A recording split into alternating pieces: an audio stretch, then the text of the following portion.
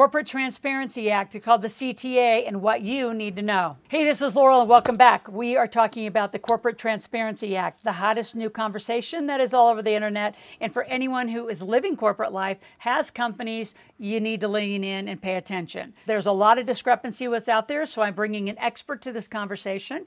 We'll be doing a series of individual videos, but there will be around six of them. So you can always go up to the search bar and put Corporate Transparency Act. You can put beneficial ownership information, BOI, inside of there. Also get information. So uh, Scott, who is my partner in Generational Wealth Systems, will be talking about this. We'll be continuing to let you know information. I pray all the way until January 1, actually walk you through how to sign up and which links to go to and how to actually fill this out because it's a new document demanded, required by the SEC.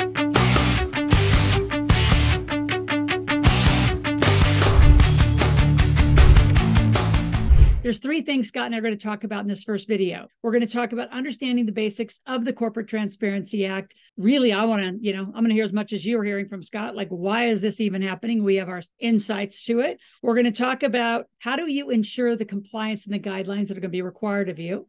And number three, the misconceptions and the mistakes that we're anticipating a lot of people to make. And anytime the government rolls out something new, like a Corporate Transparency Act, there's going to be a nice little bump in the road through 2024 and you all getting it right. But the fines or jail time is on the other side. So I would pay attention. So let's go join Scott and I in an interview to talk about these three things in detail. While you're out there, make sure you're subscribing to our channel. Click the notification button. Be here every day. And at any time, you can always go to the comments if you want us to talk about something more, or go to askloral.com, ask questions, make a request, and we'll be right back with you. So let's go jump into an interview I just did with Scott. So Scott Arden is with me, and we're going to talk about the Corporate Transparency Act. So Scott, let's just talk about understanding the issues. Uh, first of all, like what brought this up? Yeah, so absolutely. I mean, back in 2021, Congress enacted the Anti Money Laundering, Anti Tax Evasion Act. And as part of this, the Corporate Transparency Act, effective as of January 1st, 2024, is going into effect. This is going to affect 32.6 million small business owners all throughout the United States, where we've got to basically turn over the beneficial ownership information. That basically means that you know anybody who is a an owner within a company, whether it's an LLC or a corporation, is required to file this BOI. Interestingly enough, if you don't even have ownership in the company, but you have substantial control or decision making capability within the company, you've actually got to be put on the beneficial ownership information report as well. So, so yes, it's uh, you know, it's it, and really why they're doing this is they're trying to expose the illicit activities, whether that's terroristic uh, activities, whether that's drug activities, whatever is related to money laundering, they're really trying to just expose those what they'll call wrong actors or illicit actors, if you will.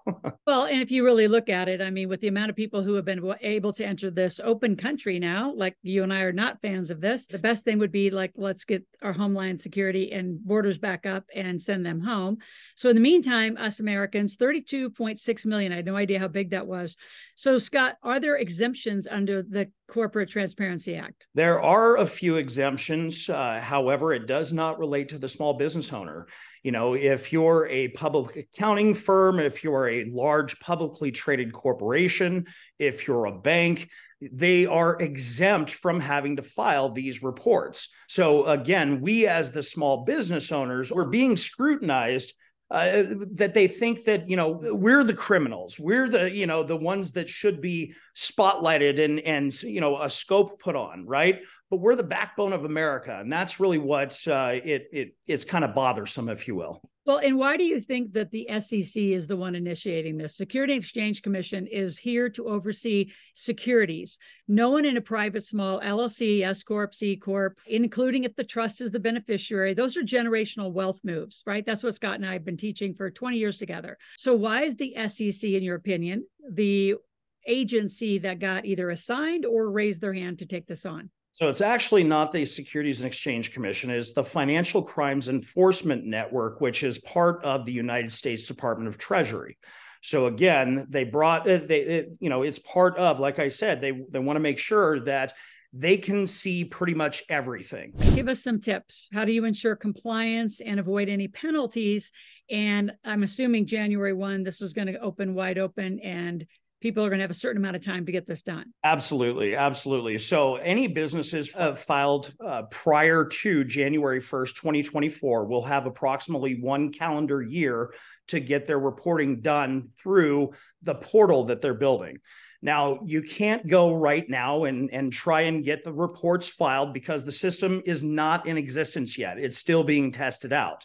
However, we're going to see some things happen that, you know, over the course of that year, are their servers going to be able to handle 32.6 million business owners logging in at one time to get their beneficial ownership information filed? Now, right now after 20 any company formed after January 1st 2024 the law currently states that you have 30 days to file your beneficial ownership information. However, there is a proposal to increase that to 90 days, giving new business owners enough time to figure out how to get these reports filed.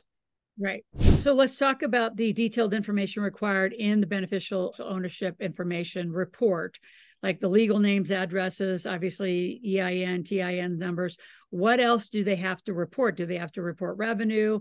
Like, give us some uh, insight to that. So basically, it's all ownership information, meaning not just the business address, but the home address of the owners of these companies. So again, financial privacy as we know it to the federal government no longer exists. so yes, the information is the name of the company, the address of the company, the EIN of the company. I don't believe they're asking for profit at this point. That might be something that they would uh, implement later or once they perfect the system. Then it goes down to, like I said, the owners' home addresses, their social security numbers, dates of birth.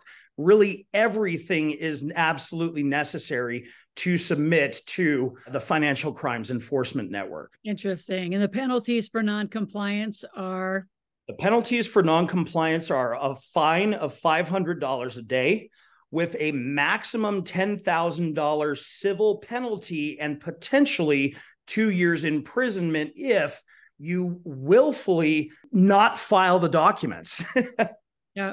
And what do you think the biggest misconceptions as you're hearing? And I know you went live a couple weeks ago and uh, we talked about it. I said, well, we got to go live out here on my YouTube channel as well as all my other channels what are you seeing as the biggest misconception i'm i'm actually seeing a lot of people just not understanding the timing and in a panic think they have to do it on january 1 or they're going to be fined right away yeah, uh, that's really the biggest thing is, you know, uh, business owners who've been in business for decades are scrambling, going, okay, I need to make sure that I'm staying compliant, that I'm getting this filed.